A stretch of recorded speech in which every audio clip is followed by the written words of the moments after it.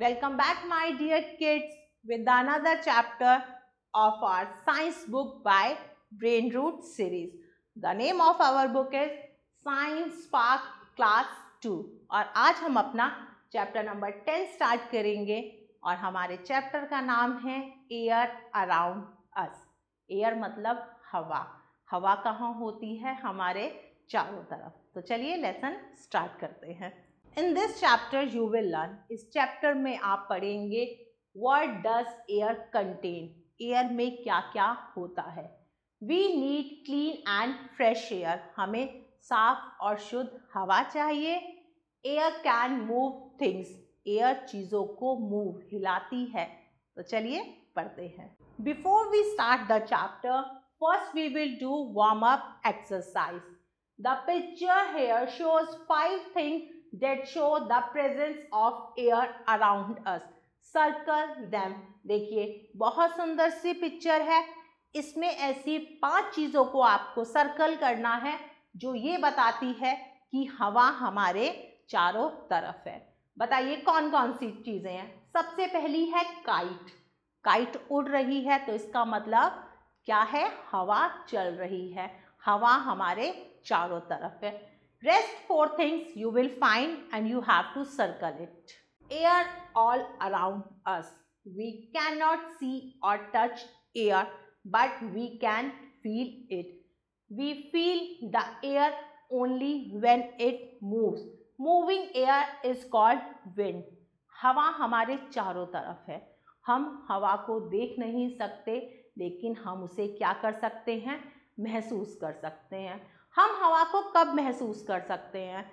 हम हवा को तब महसूस कर सकते हैं जब हवा चल रही हो। तो चलती हुई हवा को हम क्या कहते हैं? हम उसे विंड कहते हैं। Humans plant and animals all need air to live. जानवर, मनुष्य, पेड़, पौधे सबको क्या चाहिए? जीने के लिए हवा चाहिए। There can be no life without air अगर हवा नहीं है तो उसके बिना जीवन संभव नहीं है। एयर है, तभी तो हम सांस ले पाते हैं, तभी तो हम ब्रीथ करते हैं। अगर हवा नहीं होगी तो हम जी नहीं पाएँगे। Now we will learn what does air contain हवा में क्या क्या होता है? चलिए पढ़ते हैं। Air is a mixture of lot different substance nitrogen oxygen and ozone are the most common gases present in the air. Air also has water vapor, carbon dioxide, dust particles, germs and many other substance. हवा क्या है हवा बहुत सारे चीज़ों के मिश्रण से बनी होती है हवा में बहुत सारी गैसेस होती हैं जैसे नाइट्रोजन ऑक्सीजन ओजोन ये सब क्या है कॉमन गैसेस है हवा में ऑक्सीजन किस लिए काम आती है सांस लेने के लिए हम ऑक्सीजन का यूज़ करते हैं। एयर में क्या होता है? वाटर वेपर भी होता है कार्बन डाइऑक्साइड भी होती है और बहुत सारे जर्म्स और अदर सब्सटेंस भी पाए जाते हैं। Air contain dust during the day close the door and window of a room दिन के समय में आप खिड़की और दरवाजे बंद करिए अपने कमरे के। Put off the curtains curtains को भी पुट करिए, लगाइए। Allow sunlight to enter through a tiny gap और एक छोटे से छेद से क्या करिए, हवा को अंदर आने दीजिए। वट डू यू सी आप क्या देखेंगे?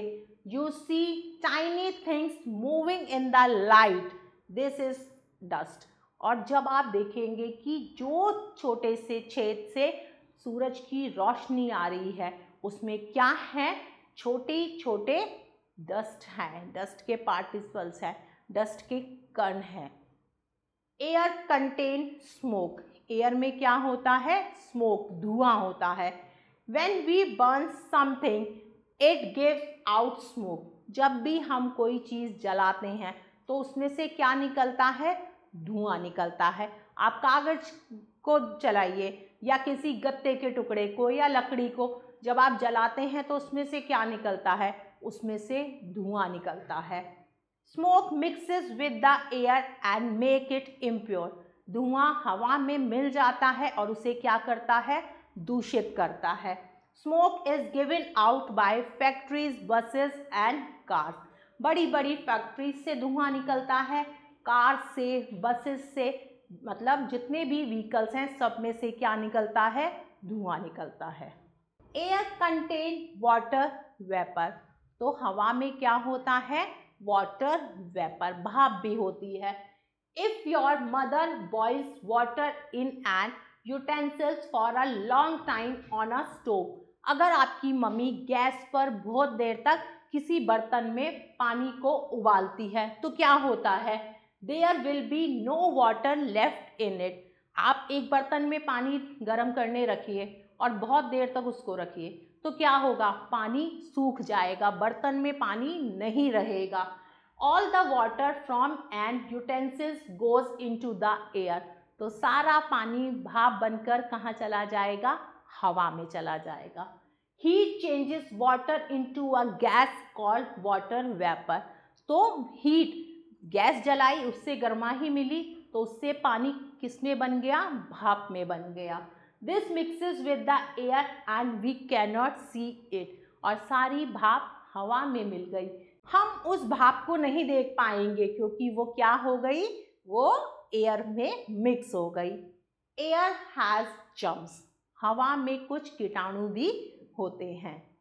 Air contain germs germs are very small living things that make us ill हवा में बहुत सारे कीटाणु भी होते हैं। और कीटाणु क्या करते हैं? हमें बीमार बनाते हैं। When a person sneeze germs from his mouth mix with air जब किसी इंसान को खांसी या छींक आती है तो क्या होता है? उससे कीटाणु हवा में मिक्स हो जाते हैं। We should always cover our mouth when we cough और स्नीज जब भी हमें खांसी या जुखाम हो तो हमें क्या यूज़ करना चाहिए? हमें हैंकर चीफ रुमाल का यूज़ करना चाहिए अपना मुँह ढकने के लिए। आपको, आपके बड़े भी कहते हैं कि बेटा जब आपको छींक आए या खांसी आए तो अपने मुँह पर हाथ रखिए। क्यों कहते हैं? इससे ताकि हवा में जम्स ना आए। Now time to test your skill circle the correct word अब आपको क्या करना है? सही वर्ड पर सर्कल करना है। Air is a mixture solution of different substance air क्या है? डिफरेंट सब्सटेंस का। मिक्सचर या सॉल्यूशन तो सही वर्ड है मिक्सचर तो हम मिक्सचर पर सर्कल करेंगे। Number two when we burn something जब हम किसी चीज़ को जलाते हैं इट गिव्स आउट तो उसमें से क्या निकलता है? डस्ट या स्मोक तो करेक्ट आंसर है स्मोक तो हम स्मोक को सर्कल करेंगे। Number three and number four you will do by yourself now we will learn we need clean and fresh air अब हम पढ़ेंगे कि हमें साफ़ और शुद्ध हवा चाहिए। This is why it is important the air we breathe should be clean ये क्यों कहा जाता है कि हवा साफ़ होनी चाहिए जब हम सांस ले? या हमारे सांस लेने के लिए हवा बिल्कुल क्लीन, साफ़ और शुद्ध होनी चाहिए। Breathing impure air is not good for our health fresh air comes into our home through window and doors वो कहता है कि दूषित हवा में सांस लेने से हम क्या होंगे? बीमार हो जाएँगे। हमारे घर में ताज़ी और शुद्ध हवा कहाँ से आती है? खिड़की और दरवाज़ों से आती है। We should keep our doors and window open हमें अपने घर के खिड़की दरवाजे खुले रखने चाहिए। ये नहीं कि आप हमेशा उसे खुले रखें। नहीं, दिन में कुछ टाइम के लिए उन्हें खुला रखना चाहिए। दरवाज़ों के साथ साथ जाली के दरवाजे भी घर में लगे होने चाहिए, जिससे साफ़ और शुद्ध हवा अंदर आ सके। Plant tree near your home as tree make the air clean and fresh अपने घर के आसपास बहुत सारे पेड़ पौधे लगाइए, क्योंकि पेड़ क्या करते हैं? हवा को क्लीन साफ़ और शुद्ध बनाते हैं। Do not cover your face while sleeping जब आप सोएँ तो अपना मुँह मत ढकिए। प्ले इन अ पार्क और इन एन ओपन ग्राउंड हमेशा किसी पार्क या फिर खुले मैदान में खेलिए। एयर कैन मूव थिंग्स अब हम पढ़ेंगे कि हवा चीज़ों को मूव करती है। कैसे करती है? Air can move things when you swing jump और ride a bicycle you can feel the air moving against the face आप लोगों ने कब देखा होगा, जब आप झूला झूलते हैं, कूदते हैं या फिर साइकिल चलाते हैं तो क्या होती है? हवा आपके मुँह पर आती है। Wind in the air that can make things move चीज़ें कौन सी हवा से मूव करती हैं? जिसे हम विंड कहते हैं। The leaves on a tree move because of wind जब हवा चलती है तो पेड़ों की पत्तियाँ भी हिलती हैं। Kites and hot air balloon fly in the air because of the wind तो विंड की मदद से पतंग उड़ती है और हॉट एयर बैलून भी उड़ पाता है। The wind can also move sail boat in water पानी में जहाज़ या नौकाएँ किससे चलती हैं? With the help of wind sometime the wind blow fast it is called storm कभी कभी बहुत तेज हवा चलती है, जिसे हम स्ट्रॉम कहते हैं। A storm can blow away the roof of the houses it can even uproot trees जब बहुत तेज आंधी तूफ़ान आता है तो क्या होता है? कुछ घरों की छतें भी उड़ जाती हैं, जो कच्ची होती हैं। और क्या होता है? पेड़ भी टूट कर गिर जाते हैं। कई बार आपने देखा होगा, जब बहुत तेज आंधी तूफ़ान आता है तो जो टीन शेड्स वगैरह होती हैं, ये उड़ जाती हैं और बहुत बड़े बड़े पेड़ भी सड़कों पर टूटकर गिर जाते हैं। Now time to go in flashback air is all around us हमारे चारों तरफ़ हवा है। We need air to live हमें जीने के लिए हवा की आवश्यकता है। Air has water vapour smoke dust and germs in it plant make the air clean and fresh पेड़ पौधे हवा को साफ़ और शुद्ध बनाते हैं। Wind is the air that can make things move. Now time to do some exercises. चलिए फटाफट एक्सरसाइज करते हैं. Number one tick the correct option सही ऑप्शन पर टिक का निशान लगाइए. We can not see it we can only feel it it is हम उसे देख नहीं सकते, सिर्फ़ महसूस कर सकते हैं. वो क्या है? वाटर एयर स्मोक या सैंड तो करेक्ट ऑप्शन है एयर हम हवा को नहीं देख सकते।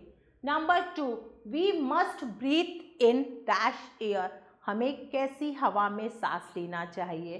डर्टी इम्प्योर वेट या फ्रेश तो करेक्ट ऑप्शन है फ्रेश हमें शुद्ध और ताज़ी हवा में सांस लेना चाहिए। Number three gentle wind is called बहुत धीमी धीमी हवा जो चलती है, उसे क्या कहते हैं? ब्रीज जाम स्ट्रॉम या ठंडर तो उसे हम ब्रीज कहते हैं। Number four you will do by yourself now exercise B fill in the blanks खाली स्थान भरिए। Number one air contains dash smoke and water vapour हवा में होता है धुआँ, पानी की भाप और क्या होता है? एयर में होते हैं dust. D u s t, dust. Number 2 we should keep our doors and dash open. हमें अपने दरवाजे और खुले रखने चाहिए। दरवाज़ों के साथ साथ और क्या ओपन रखना चाहिए? हमें window W I N D O W S windows number three four and five you will do by yourself now number C exercise find the missing word in the grid यहाँ पे एक words की grid दी हुई है। आपको उसमें से सही वर्ड छाटना है। उसके लिए आपको हिंट दी हुई है। Water vapour is a water vapour क्या है? तो चलिए देखते हैं वाटर वेपर क्या है। पानी की भाप क्या है? पानी की भाप होती है गैस तो गैस वर्ड बनेगा यहाँ पे। जी ए एस गैस, और हम यहाँ पे भी लिखेंगे G A S gas. Number two dash are tiny living things that make us stretch वो क्या छोटी छोटी लिविंग थिंग्स होती हैं जो हमें करती हैं? क्या करती हैं छोटी छोटी चीज़ें जो हवा में होती हैं?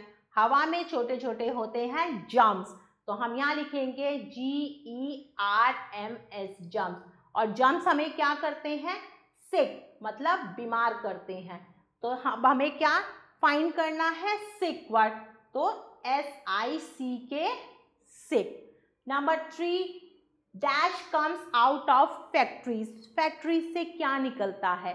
फैक्ट्री से निकलता है smoke S M O K E smoke आप स्मोक वर्ड को आप ग्रिड में देखेंगे तो ये रहा S M O K E smoke number four and five you will do by yourself.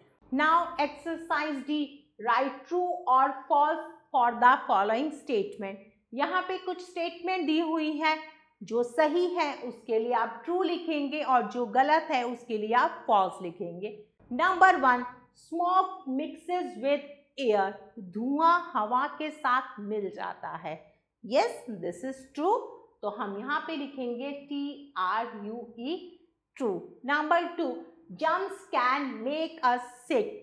कीटाणु हमें बीमार बनाते हैं। क्या ये बात सही है? Yes this is also true T R U E true number three we can see air हम हवा को देख सकते हैं। क्या ये स्टेटमेंट सही है?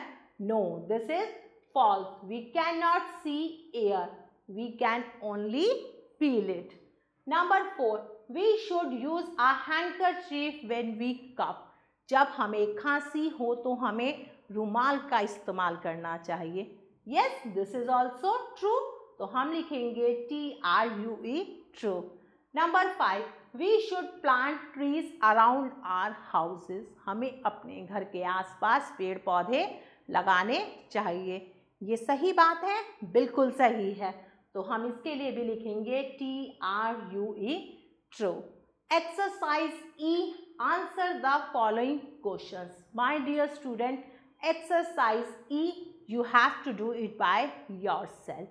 Once again, read your chapter carefully and answer the following questions. In this video, we have learned so many things about air. हमने इस चैप्टर में हवा के बारे में और भी बहुत सारी चीज़ों को पढ़ा I hope you like this video Stay tuned for next video. Till then, take care. Bye-bye.